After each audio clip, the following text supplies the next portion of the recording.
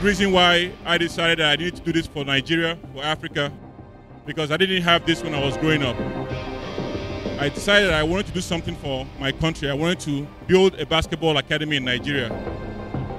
Africa has the most talented kids I want to help develop them.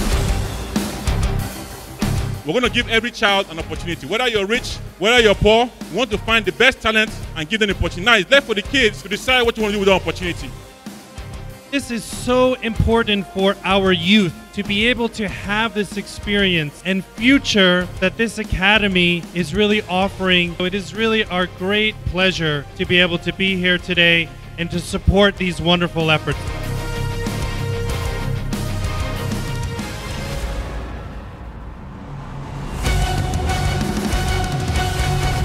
Thank you very much.